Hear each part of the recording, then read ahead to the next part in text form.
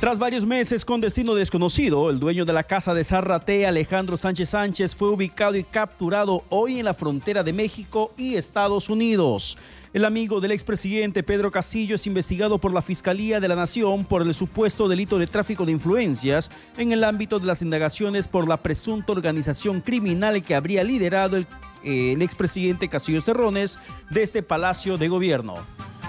El propietario de la casa de Zarrate, ubicada en Breña, lugar utilizado para reuniones clandestinas del exmanatario, se encontraba en condición de prófugo de la justicia luego de que el cuarto juzgado de investigación preparatoria dispuso 30 meses de prisión preventiva en su contra.